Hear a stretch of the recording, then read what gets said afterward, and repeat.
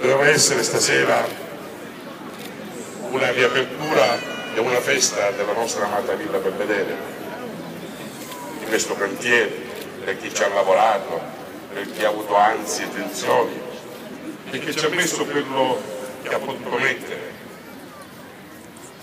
Ma da pochi minuti abbiamo avuto notizia di una notizia dolorosa, tragica. Qualunque sia la ragione per la quale un ragazzo,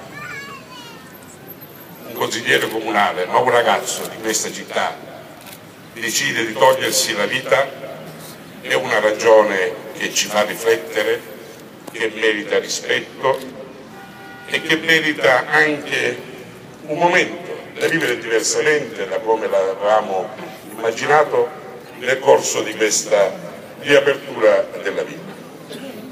Non vedrete il tradizionale taglio del nastro, salta la parte del cerimoniale, non spiegheremo i lavori di questo eh, appalto rispetto agli altri che sono pure all'interno, ci sono dei pannelli, vedrete, girerete, eh, vi renderete conto, vi leggeranno, vi inviteranno, non ha importanza oggi.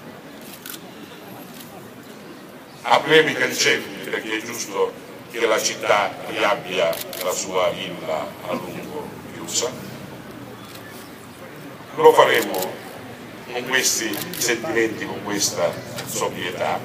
Annunciamo anche che si rinuncia alla parte del cerimoniale che avevamo previsto e pertanto io che indosso vicino al Presidente del Consiglio, vicino alla Sua Eccellenza, la fascia tricolore perché riapriamo a nome della città la villa, toglierò la fascia subito dopo le parole del Vescovo di preghiera, di riflessione e di benedizione, riapriremo i cancelli e tolta la fascia ci incammineremo ciascuno nella nostra villa perché possiamo renderla nuovamente nostra.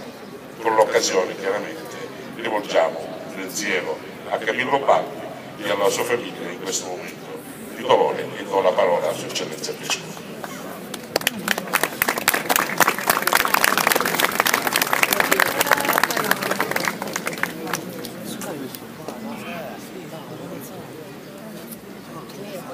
Signor Sindaco, a nome di tutta la città mi ha invitato in questo momento che è di tutta la città, perché la villa al di là del numero di noi presenti ovviamente, è amata, io da quando sono arrivato qui ho sempre sentito parlare con orgoglio di questo luogo da parte di tutti gli acesi.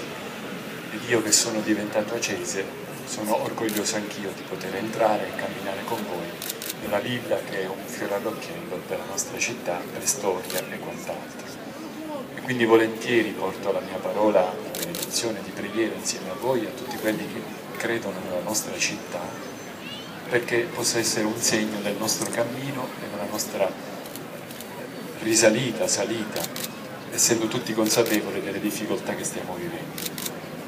Naturalmente in questo momento di dolore per la città porgo le condoglianze al Presidente del Consiglio, al Consiglio Comunale, perché il signor Baldi faceva parte e dunque eletto democraticamente era un rappresentante delle istituzioni, ma nella mia veste elevo la mia preghiera a Dio per la sua anima e per la consolazione della sua famiglia.